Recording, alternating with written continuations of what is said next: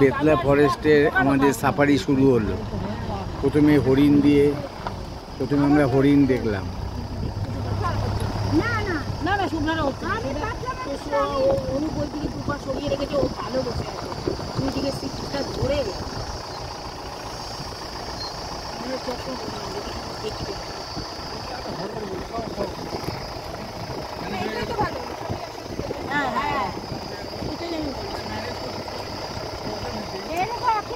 করি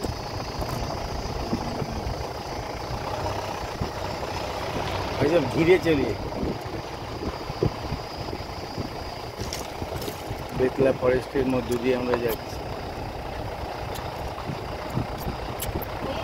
जंगल में क्या क्या है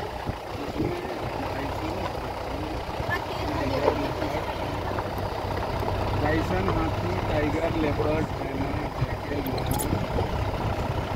हाँ, खुलेगा ज़्यादा तो नहीं लेपट ज़्यादा दिखता है। आप देखे हो हाँ लेपट देखे टाइगर को। सवारी में दिखा था